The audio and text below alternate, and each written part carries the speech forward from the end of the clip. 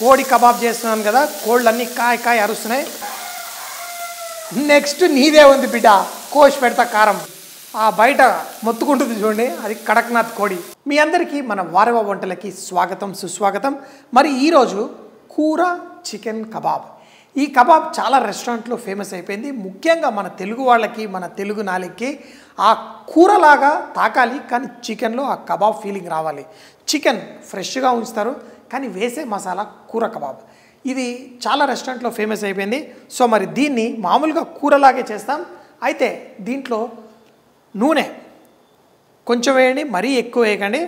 మిరియాలు ఎండుమిరపకాయలు కావాలంటే హోల్ గరం మసాలా వేసుకోవచ్చు. నేను గరం మసాలా పొడి వాడతాను.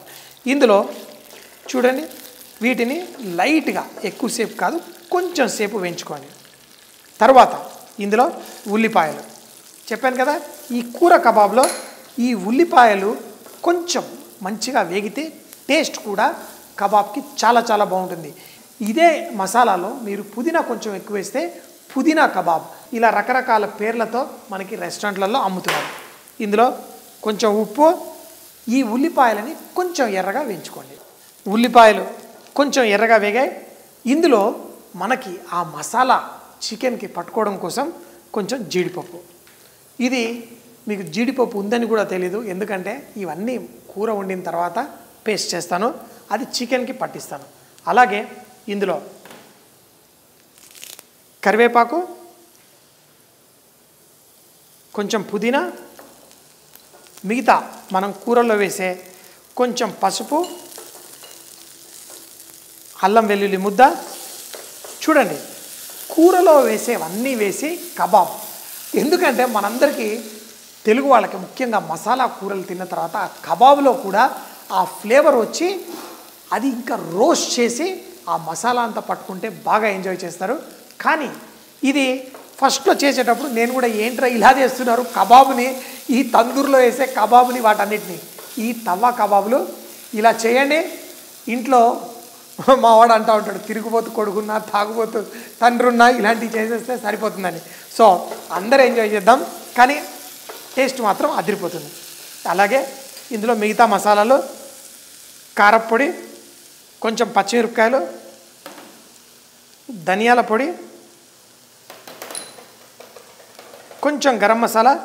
అయితే ఒక మంచి లైట్ పులదనం చికెన్కి రావడం కోసం ఎక్కువ కాదు కొంచెం టమాటా ముక్కలు వేసేసి దీన్ని నీళ్ళు పొయ్యకుండా తక్కువ మంటలో మంట చాలా తక్కువ ఉండాలి దీన్ని కుక్ చేయాలి. సో కింద ఏ మసాలా మాడినా కొంచెం చేదు వస్తుంది. అలా కాకుండా మూత పెట్టేయండి. స్లోగా కుక్ చేయండి. అక్కడక్కడ మధ్యలో కలపండి. తేమంతా తగ్గాలి. తర్వాత ఏం చేయాలో చూద్దాం. నేను ప్రతి షోలో చెప్తా ఉంటాను చికెన్ని బ్రైన్ చేయాలి. ఒక నాలుగైదు గంటల పాటు కొంచెం ఉప్పు నీళ్ళలో నానబెట్టేస్తే చికెన్ సాఫ్ట్గా జ్యూసీగా అవుతుంది. ఇంకొక మెథడ్ ఏంటంటే హ్యామర్.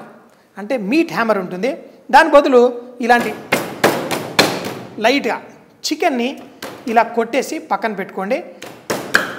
ఇలా చేయడం కూడా మీట్ని కొంచెం టెండరైజ్ చేయడం. ఆ మసాలా అంతా దీన్ని పట్టుకోవాలి. ఈ సాఫ్ట్గా ఉన్న చికెన్ని రెండు దెబ్బలు వేస్తే ఎవడైనా సాఫ్ట్గా ఉన్న కొడుకైనా చికెన్ అయినా కొంచెం దెబ్బ తాకితే దానికి కరెక్ట్ కన్సిస్టెన్సీ వచ్చేస్తుంది.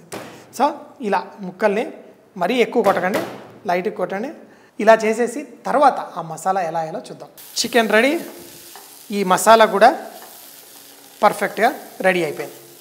ఇంకో కొంచెం సేపు కుక్ చేద్దాం. ఈ టమాటాలో ఇంకా సాఫ్ట్నెస్ రావాలి. మసాలా రెడీ దీన్నంతా మిక్సీ జార్లో వేద్దాం. ఆ జీడిపప్పు కొంచెం ఎక్స్ట్రా తేమ ఏదన్నా వస్తే దాన్ని పీల్ చేసుకొని తర్వాత మన చికెన్కి పర్ఫెక్ట్గా కోటింగ్ అవ్వడానికి. దీంట్లో మిరియాలు ఎక్కువ వేశాను. ఇది తినేటప్పుడు మీకు మిరియాలు కూర కోడి కబాబ్ ఆ ఫ్లేవర్ మంచిగా వస్తుంది. ఫుల్గా ఎంజాయ్ చేయొచ్చు. దీన్ని బర్ బర్ బర్ అనండి పేస్ట్ చేయండి చికెన్కి పట్టించి మళ్ళీ తవా మీద కబాబ్ కాల్చేద్దాం. చూడండి ఇలా మరీ ఫైన్గా వద్దు కొంచెం చట్నీ రూపంలో రావాలి. ఈ మ్యారినేషన్ తోటి మీరు చేసుకుంటే చికెన్ చాలా బాగుంటుంది. కానీ మసాలా కుక్ అయింది చికెన్ మాత్రం ఫ్రెష్గా ఇలా వేసుకోవాలి. వేసి ఈ మసాలాని చికెన్కి పట్టించండి కొంచెం ఉప్పు అడ్జస్ట్ చేయండి.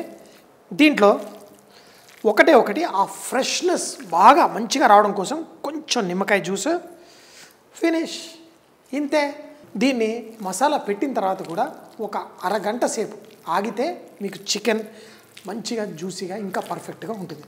ఇది వేడి పెనం పైన స్లో మంటలో రెండు పక్కల మంచిగా కాలవండి. లేదనుకోండి మీరు సీకులకు పెట్టి బొగ్గు మీద కూడా డైరెక్ట్గా కుక్ చేసుకోవచ్చు.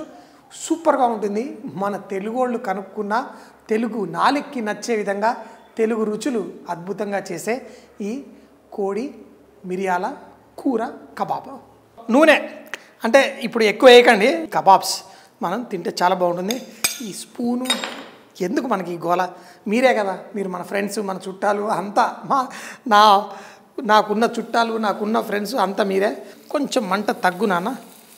మరి ఇంత మంట ఎక్కువ ఉందనుకో కింద మాడే ఛాన్స్ ఉంటుంది. ముక్కకి ముక్కకి మధ్యలో కొంచెం గ్యాప్ ఉండాలి. స్లోగా కుక్ చేయండి మరీ ఎక్కువ మంట పెట్టకండి. రెండు పక్కల ఏడు నిమిషాలు ఎనిమిది నిమిషాల్లో రెండు పక్కల కుక్ చేసుకోండి. చాలా జ్యూసీగా టేస్టీగా ఉంటుంది. చికెన్ మాత్రం పచ్చి చికెన్ వాడాలి. అది కూడా లైట్గా ఓ రెండు దెబ్బలు వేస్తే ఇంకా సూపర్. ఇలాంటి కబాబ్ చేసేటప్పుడు మీరు నాన్ స్టిక్ ప్యాన్ వాడుకుంటే మనకి చాలా బాగుంటుంది.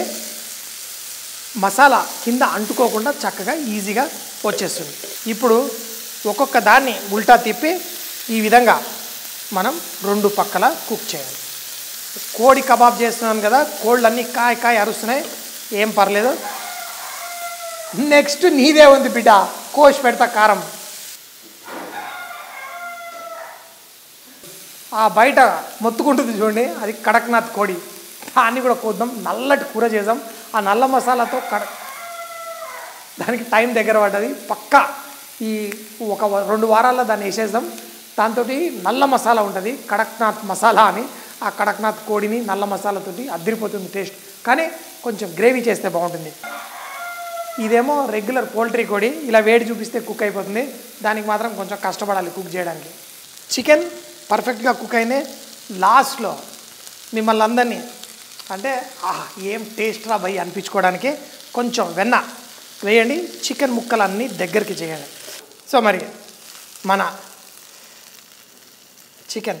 అయితే దీంట్లో మనం కరివేపాకు వేసి రకరకాలుగా మనం చేసుకోవచ్చు. ఈ కూర కబాబులు చేయడం చాలా ఈజీ టేస్ట్ కూడా మసాలాదారుగా బాగుంటుంది.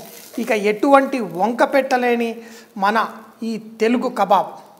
లాస్ట్లో మళ్ళీ లైట్గా కొంచెం నిమ్మరసం పిండండి అంతే.